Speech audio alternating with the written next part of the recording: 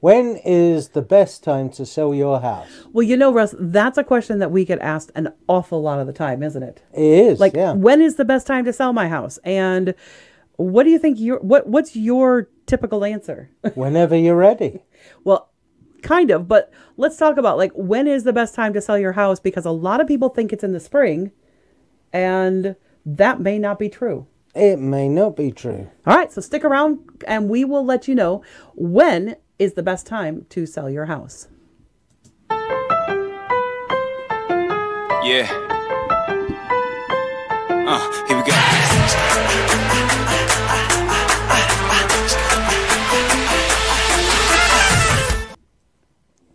And welcome back. Hello, Hi, I'm Kimberly Mann, and I'm Russell Mann. And we are realtors here in the Racine, Kenosha area, southeast Wisconsin. We actually cover, cover all of Racine and Kenosha County. If you don't know, if this is the first time you've been to our channel, that's who we are. And every month we do a specialty video, correct? Yes. Like every month we do all sorts of different kinds of video that aren't actually very real estate, real estate. But every month this is a very real estate video. Yeah. And why so? Well, because we want to see the stats. So we want to look at the stats, and I know some people will think it's boring, but it shows the trends of how the market is moving. Um, you know, what prices houses are going for, whether the prices are going up or indeed down. Sure, but then when people ask us when is the best time to sell your house, that becomes a little bit of a problematic question to answer. What do a lot of agents let's let's talk about what a lot of agents say when they say when they say what is the best time to sell your house? What do a lot of agents say? Spring. Spring. Right. Absolutely. the spring market because buyers have had their tax returns and they're heading into the market to buy a house. Yeah, but that's only first time home buyers. Yeah. And I think the problem with taking it from that perspective is that first time home buyers are not the only people buying houses. Indeed not. And so I don't think spring necessarily is, but we're going to look at the stats here for April and let's talk about that and how that's compared to the first quarter of of the year. All right? So starting Yeah. with in April, we have um, the average list price for homes was 257 249. That's the average price. Taking all of them together, average that out, 257.49. And the average sale price was 223 884. Now that's the best sale price that we've seen to date in 2024. Yeah. So this year. so so what that tells me is the best time to sell your house was last month, Yes. right? Because do we know what houses are going to sell for in May? No, we don't. Right. So, uh, you know, this is a thing with hindsight. You could um, say, oh, so I should have sold my house last month, then I'll keep it off the market till next year. Well, no, because next month could be even better. Right, exactly. May actually could come out with some really great stats and some really great information. And the problem, I think, is when agents then act as if they know for sure what's going to happen. Yeah. Like they know for sure this is what's going to be, this is what it's going to be. Um, I know your house can sell really great if you list it in the spring. So a lot of agents will say that you should always list your house in the spring. Is do you think that's a truth, Russ? Not at all. And why? Why is that? Well, otherwise, realtors will be out of work because they have to work all year round. But the main reason is houses are selling all year round.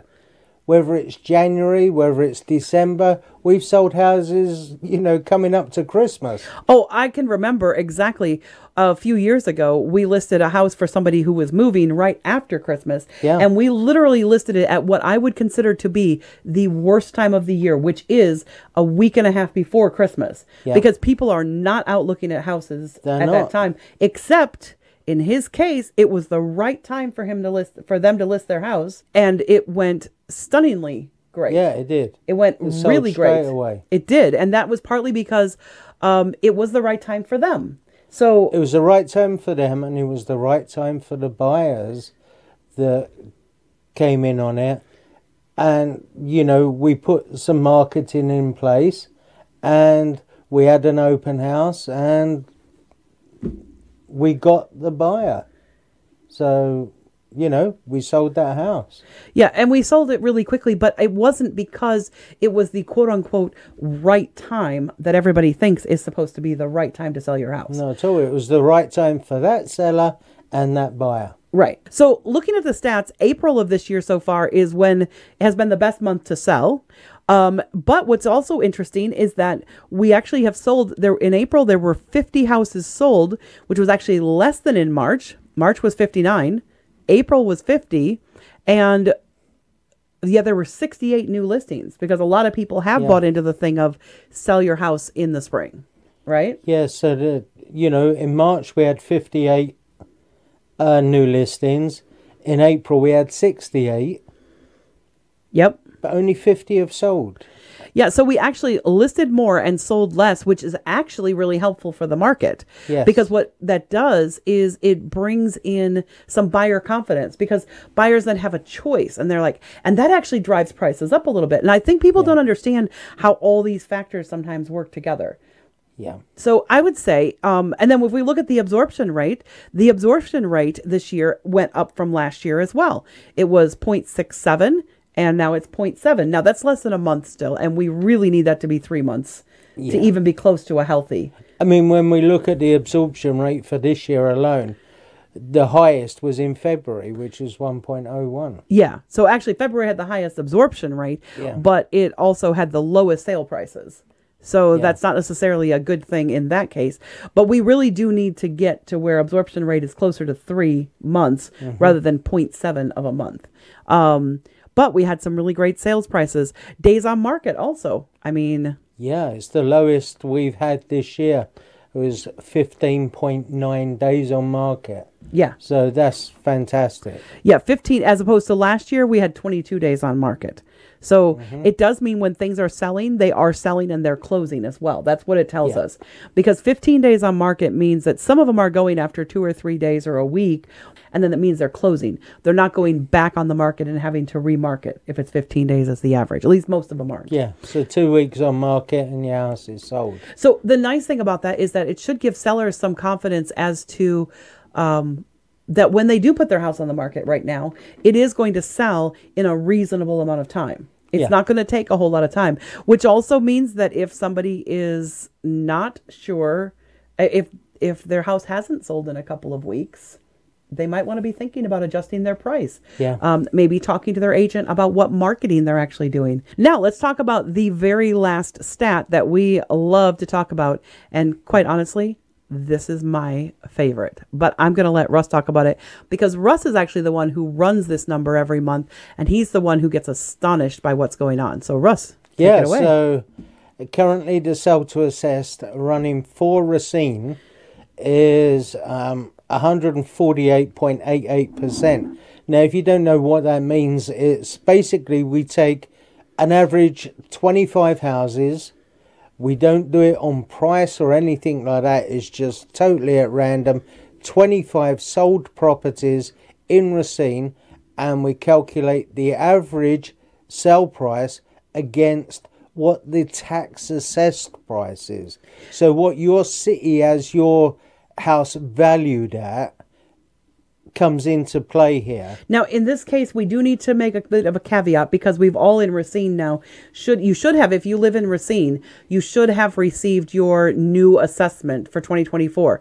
And this sale to assess number is based on your 2023 assessment Yeah. because even though it's been published to um, to each individual person, like that has gone out to us, like we got ours just last week. Um, even though that's gone out to everybody, um, it doesn't mean that It doesn't show up on the it doesn't show up on the not just the MLS. It doesn't show up on wire data. It doesn't yeah. show up on the county records. That doesn't actually show up on the county records until next December when the tax bills go out to everybody. Mm-hmm. Yeah. So that's that's why that's a little bit different. the city are going to look at these numbers and eventually think, okay, we need to put the taxes up. Well, see, and it's not just that they say we're going to put the taxes up. What they say is we need to, and one of the reasons why people's assessment in Racine went up this year is because these numbers have been trending in the 140s. Yeah. And so in January and even last year, we saw these numbers trending at 135, 140. So when the assessor went out and did re upping the assessments, that is one way for them to get more taxes. That means that whatever the city have assessed your house at, you can times Safely. that by one and a half. And that's if you have an average house for your neighborhood. It Yeah. doesn't mean that your house has to be fancy. So, for example, if you live in a neighborhood like one of the downtown neighborhoods and your house Mm-hmm. is only assessed at 100,000, you should be looking at listing it for about 150 if your house is in good condition. Yeah. It doesn't have to be in stellar condition. It just has to be in good condition. And now we don't go over the Mount Pleasant stats, um, but we will give you a couple of stats for Mount Pleasant and Caledonia really quick. Um, the list price in Caledonia in Mount Pleasant is last month was 503,896 and the sale price was actually 353. To be honest with you, Mount Pleasant is crazy right now. Yeah, They are really is. overlisting their homes and then they're dropping the prices. That's not the way to do it. Caledonia is more sensible. Even though they're still overlisting their houses, they're still only like so with Mount Pleasant, they're overlisting their houses by almost a hundred, basically 150,000 overlist as an average price. And in Caledonia, they're less than 100,000. Like they're at what is it? 85? 420 is the list price, 335 is the average sale price Yes. if you and people are still not quite getting that in Caledonia, but it's worse in Mount Pleasant. Mount Pleasant, you are overpricing your houses significantly and horrifically. So you need to stop doing that because it's actually costing you days on market. And you're not getting any more for your house. In fact, what's happening is the longer you're on the market, the more likely you are, the longer it's going to take. And just to give a point to that, in Racine, it's 15 days on market is the average days, and in Mount Pleasant, it's 27. So almost Yeah. 28. So that's what's happening is it's taking you guys a lot longer. Same thing in Caledonia where it's being overpriced. Um, it's, you know, um, it's it's 27, days 27, there as well. 27 days on market. And actually last month it was 51 days and 61 days. And like, this is actually, 27 is actually low for Caledonia. It's actually the best this It's the best it's been this year, but that's still not that's not great as far as like getting the Yeah. price for your house that you want. So in some ways this is kind of ironic and unusual, but Racine is actually doing the best on this particular It metric. is, yeah. So I will say this, if you are looking to sell your house or you're looking to buy, one of the best things you can do is watch these videos every month when we put out our updated stats for the month. And the reason is because it will educate you as to where things are. Also, if you are looking for the stats for your particular municipality and you want more of the details, we only touched on the two on two stats for Mount Pleasant and Caledonia. But if you'd like to see a full spectrum of the stats or you'd like a CMA, just reach out. You can do that by Kimberly at tamthomes.com. You can send me an email and we will Russ or I will sit down and do an analysis of your property and we will also send you out the stats for your area. So if you don't want a specific for your property and you just want the general stats for your area, and some of the things out in the county, we actually have to run the stats based on the quarter. We can't really do them based on um, we can't really do them based on the month. And the reason is because if there's so few sales, um, basically the way it works in data is that the more data you have, the more accurate your stats are. Anything else that you wanted to say, Russ? No, that's about it. That's about uh, it for us. So if you think you're not sure about what we talked about at the beginning, when's the best time to sell your house? Well, the best time to sell your house is when you're ready. And when are you ready? Well, when you know that you don't have enough space anymore. Uh, you know that that house doesn't fit your needs anymore. That's the best time to to sell your house and to buy a new one. What we're saying here though folks is that the best time to sell your house as any agent should be telling you, the best time to tell it to sell your house is when you are ready. There is no other good time. Um, it doesn't matter whether it is fall, spring, winter, summer. Houses sell all year round. There are always buyers out there. And right now there are buyers looking diligently all year round. In fact, there are buyers who have been looking for over a year. Thanks so much for joining us today. If you got any value out of this content, do us a favor, click like, subscribe, turn on that notification bell so you don't miss any of our content. And we will be back next week with a not stat and not real estatey type video. In fact, next week, Russ and I are going to be doing a video about the marinas in Racine. Join us again next time, and thanks for joining us. Bye for now. Bye. To say is if you if you got any valve, blah blah blah.